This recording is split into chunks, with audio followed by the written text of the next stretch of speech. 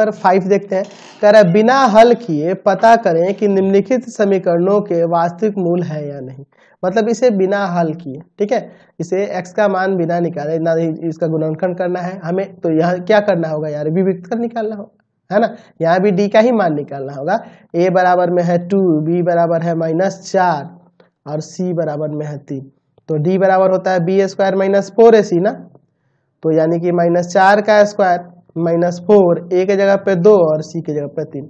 तो सोलह माइनस, देखिए, चार दुना आठ आठ तिया चौबीस। घटाओगे तो यहाँ पे क्या आएगा? माइनस का आठ, जो कि ज़ीरो से छोटा है, इसलिए यहाँ कह सकते हैं कि कोई वास्तविक मूल नहीं कोई वास्तविक मूल नहीं है। वास्तविक मूल नहीं है।